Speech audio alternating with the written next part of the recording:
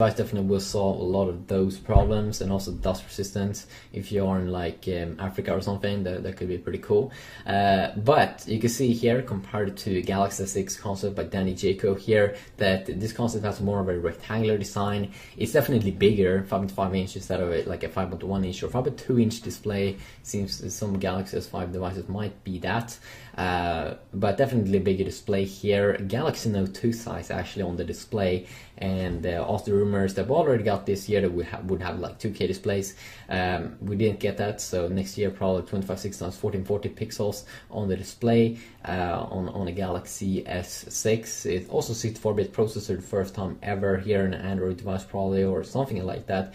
I don't Adreno 330 GPU is still um, what this concept guy is, is saying, or maybe they on this website concept phone just said that, but I, I definitely believe we're gonna get an even better GPU in the future. 4 gigabytes RAM, which is a nice upgrade there, and then also specs uh, rumored here, or not rumored, but just concept 128 gigabytes of internal storage, which I don't really believe. Like, it sounds like we, we now we get 1632 gigabyte variants again of the S5, so I definitely do believe that next year 30 to 64 gigabyte variants definitely probably uh, 16 gigabyte variants.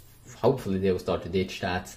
Um, maybe they will continue to use it. And also one the difference here would be I mean, just look at the display. It looks a little bit the uh, the, the S5 already looks kind of old here with the, the amount of space and, and the big bezel that it has uh, compared here to a Galaxy S6 concept.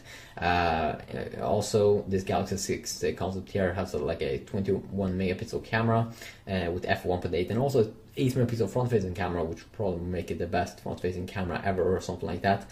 Uh, and just the edge edge edge display looks really really nice uh, on this little phone. So I definitely would love to have this. Um, but then again, to be a little bit realistic, they're probably not going to move up that much to a 5.5 display. We're going from like 5.1 or 5.2 to 5.5.